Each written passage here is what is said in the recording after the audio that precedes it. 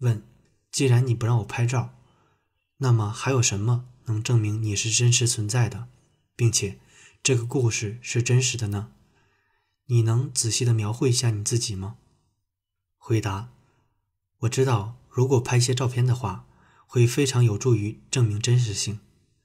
人们都是多疑的，那对我们和真实的外星族类在这颗行星上行使秘密来说是好的。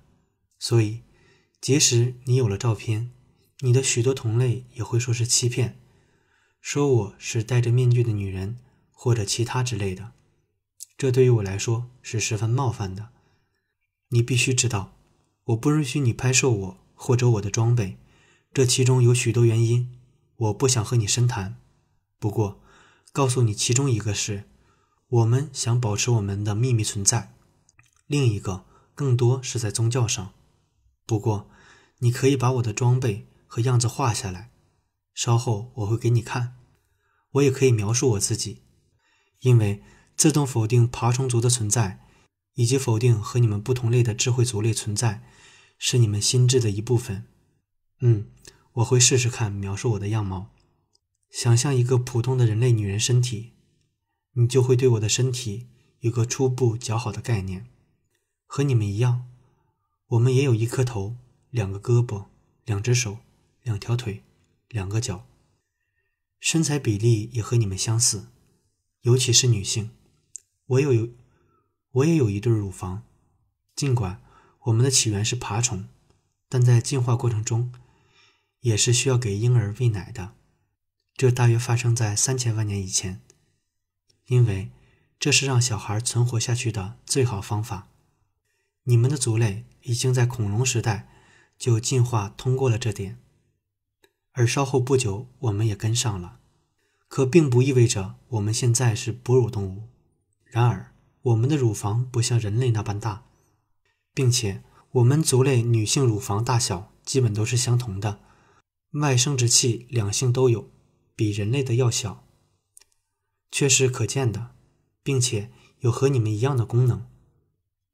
我的皮肤大体上是绿褐色的，更多的是灰绿色，并且有一些褐色的不规则点在皮肤上和脸上。你可以从我这里看到眉宇之上，像两条线一般的横跨额头，布于面颊和下巴。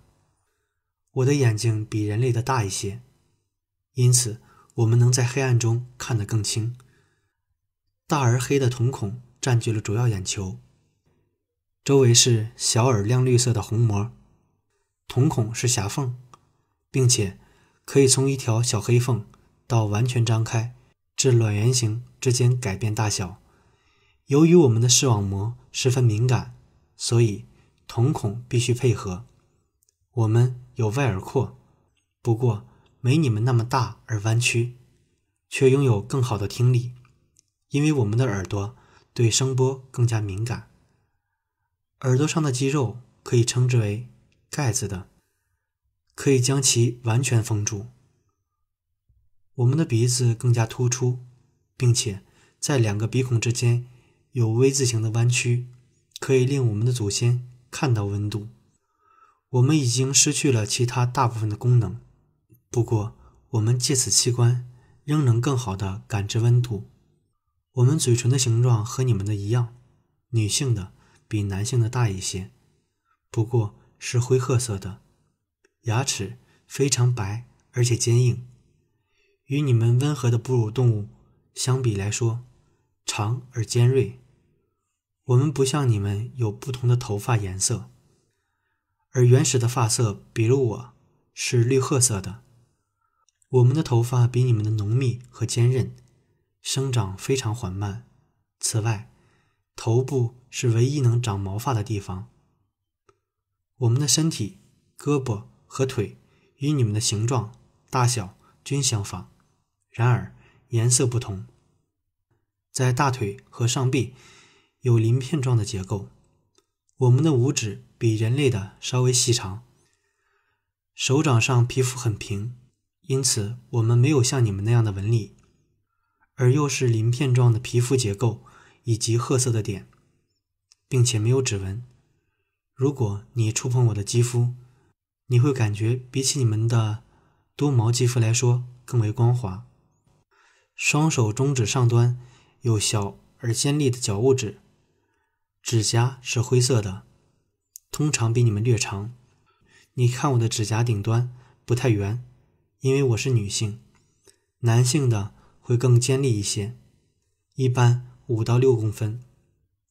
以下特征是非常不同于你们族类的，并且与我们祖先也有部分相异。如果你触摸我上半身的后脊，会透过衣服感受到一道坚硬的嶙峋线条，那不是脊骨，而是皮肤和组织的一种非常难为的外板型结构，从头到尾恰好服从脊骨。这个结构和板状中。有数量极多的神经和大血管，这些小板状主要的功能是体温调节，并且如果我们坐在日光或者人造光下，这些小板就会充血，血管扩张，阳光便会加热我们爬虫的血液，那会令我们感觉极度愉悦。还有什么与你们不同的？我们没有肚脐，因为我们同你们哺乳类出生的方式不同。还有一个外在的区别，并不重要。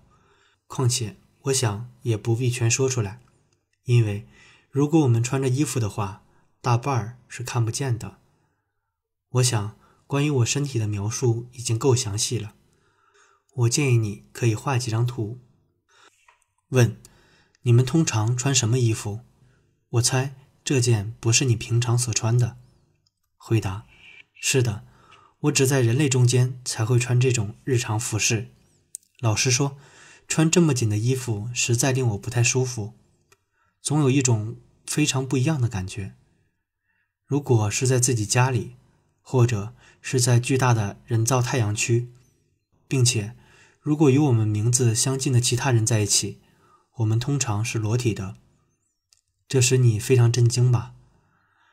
当我们和许多同类。